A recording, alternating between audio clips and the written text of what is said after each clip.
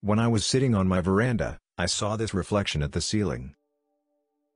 Where does the reflection come from?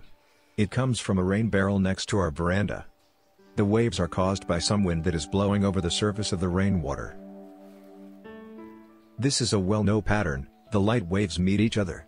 Sometimes they cancel each other out and then it is black. Sometimes they enhance each other and then it is bright white. This is called an interference pattern. When two light waves cancel each other, the result is darkness and this is called destructive interference.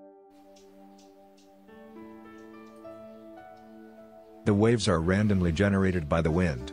There is no special pattern. Waves just crossing each other by chance. But then suddenly I saw a special pattern appear on the ceiling. Some circles originating from one point were spreading out. What was happening? Where did that pattern come from? No rain. No drops falling in the rain barrel. I looked in the rain barrel. And saw the reason, a beetle had fallen in the rain barrel and tried to save his life by swimming to the border. At the ceiling, there was no beetle. But it was in the rain barrel. I saved its life, really. I took it out of the water after filming. It was happy to crawl further on the ground. What is interesting here? On the ceiling, we see only the wave patterns. We don't see the matter, the beetle.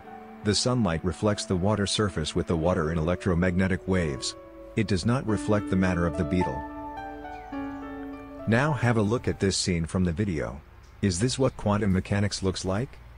there before you measured it, and you can't even say that the electron must have gone through one slit or the other. Compare that with the picture provided by the bouncing droplets. In this case, the pilot wave goes through both slits, but the droplet only goes through one.